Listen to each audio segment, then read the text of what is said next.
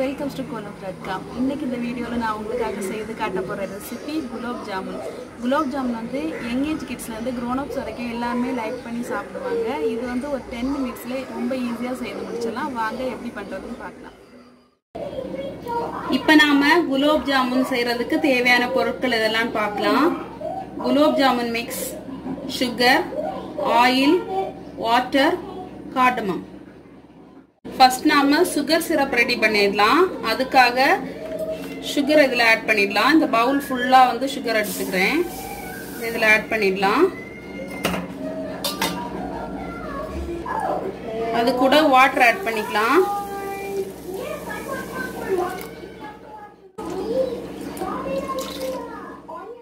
இந்த பவுல் ஃபுல்லாக சுகர் எடுத்துக்கிட்டிங்கன்னா இதில் ஒன்றரை அளவுக்கு வந்து வாட்டர் ஆட் பண்ணணும். இதில் இப்போ இந்த க்ரஷ் பண்ணி வச்சுருக்க ஏலக்காவை போட்டுக்கலாம். இப்போ நாம் ஸ்டவ் ஆன் பண்ணி இந்த மிக்சரை அடுப்பில் வச்சிடலாம். இது கொஞ்ச நேரம் இப்படியே இருந்து கொதிக்கட்டும்.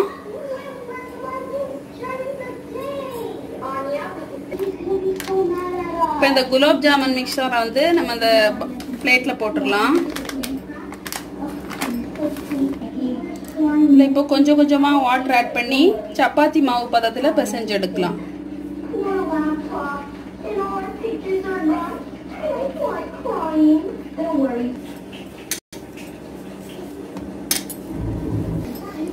இந்த மாதிரி பிசைஞ்சு எடுக்கணும். சப்போஸ் நீங்கள் வாட்டர் அதிகமாக ஆட் பண்ணிட்டீங்கன்னா கொஞ்சமாக மைதா மாவோ இல்லாட்டி கோதுமை மாவோ ரவை ஏதாவது ஒன்று ஆட் பண்ணி அதை வந்து கரெக்டான பதத்தில் பிசைஞ்சு எடுத்துக்கோங்க. மாவு ரெடி பண்ணியாச்சு. இதை இப்போ குட்டி குட்டி பால்ஸாக செய்து எடுத்துடலாம்.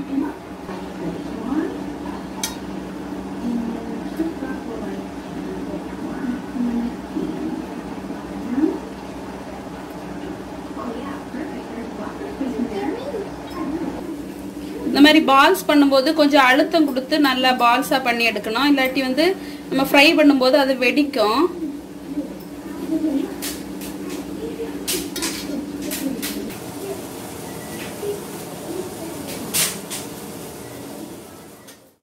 இதை இப்போ குட்டி குட்டி பால்ஸா பண்ணி எடுத்தாச்சு.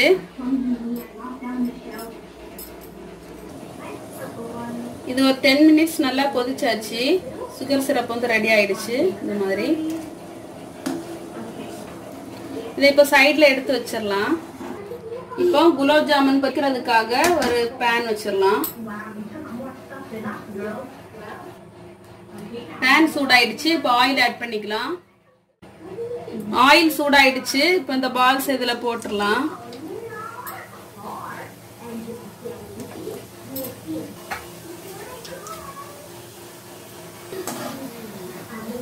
இந்த லோ ஃப்ளேமில் வச்சு தான் ஃப்ரை பண்ணணும். இல்லாட்டி உள்ளே வேகாமல் இருக்கும்.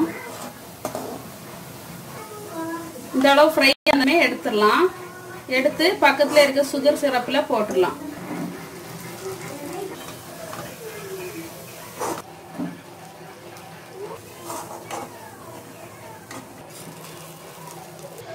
இப்போ நெக்ஸ்ட் பேட்ச் போட்டுடலாம் ஒரு பேக்கெட் குலாப் ஜாமுன் மிக்ஸ் வந்து ரெண்டு வாட்டி நம்ம போடுற அளவு தான் இருக்கும்.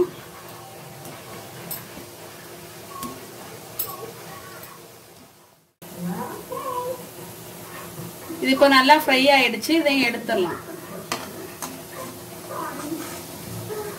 சுகர் சிரப்பில் போட்டுடலாம்.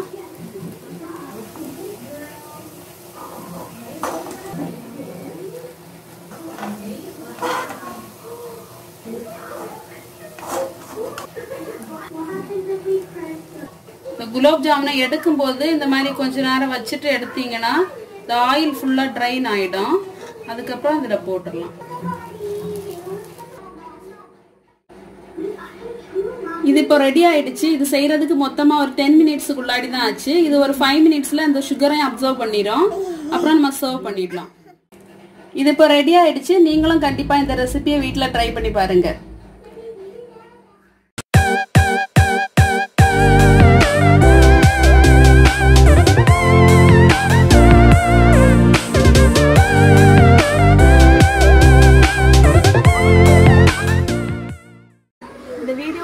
பிடிச்சிருந்தனா லைக் பண்ணுங்கள் இன்னும் இதே மாதிரி வீடியோஸ் பார்க்கணும் அந்த சேனலை சப்ஸ்கிரைப் பண்ணுங்கள் கூடவே பக்கத்தில் இருக்க பெல் ஐக்கானையும் கிளிக் பண்ணுங்கள் தேங்க்யூ